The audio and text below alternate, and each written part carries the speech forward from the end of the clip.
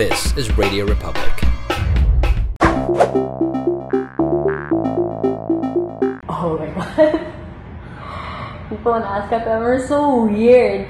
There's something about anonymity that just people are no holds barred. They're really weird. Some people ask me because I used to have really short hair. People would confuse me for like a little 12 year old boy. Someone asked me, "Are you a boy or a girl?" No, I, actually I get that question a lot. like before.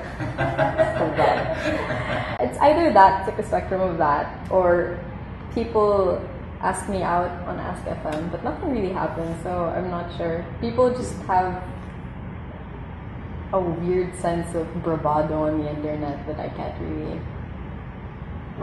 I get cool questions though every now and then, like, do you believe in God or science, or how do you ask someone out? And and I just give advice, and it's weird because I have like 4,000 questions or something. 4,000, 3,000, something like that. And it's really weird. I usually don't talk to people as much as perceived online. Okay, okay. Are you um, very active online?